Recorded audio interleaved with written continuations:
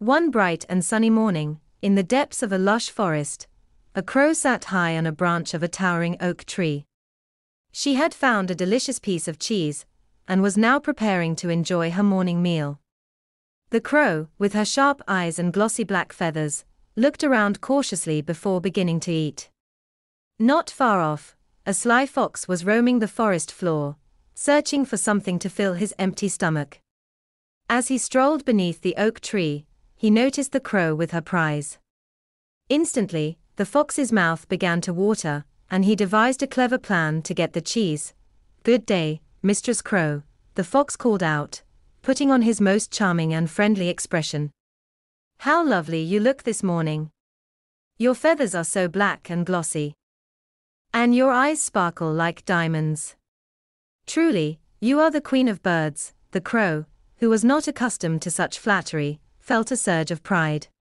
She held her head a little higher and preened her feathers, thoroughly enjoying the fox's praise.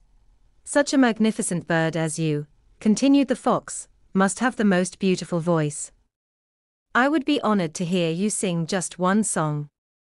Surely your voice must be as splendid as your appearance.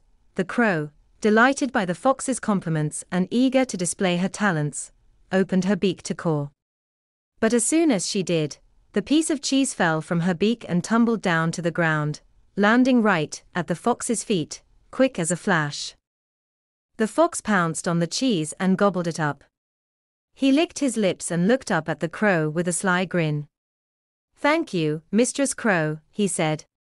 In exchange for your cheese, let me give you a piece of advice. Never trust a flatterer.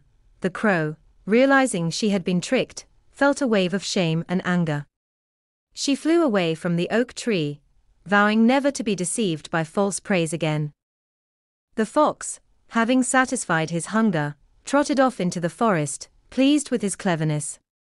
As he went, he thought to himself how easy it is to exploit the vanity of others. From that day on, the crow was more cautious. She learned to value sincerity over flattery, and to be wary of those who praised her too easily. And the fox, ever the trickster, continued to wander the forest, always on the lookout for his next opportunity. The moral of the story is clear beware of flatterers, for they often have their own interests at heart.